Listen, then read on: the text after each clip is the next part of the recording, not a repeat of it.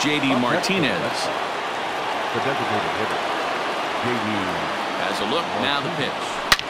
A swing by Martinez, and this is driven to left. Stanton looking up, and they take the lead. It's gone.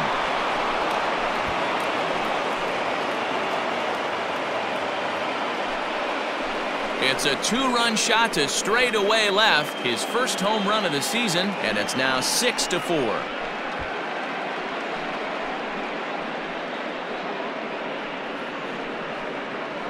Man, this has been a rough one for this guy so far.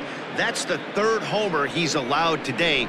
He better start keeping the ball down in the strike zone or that total might continue to rise.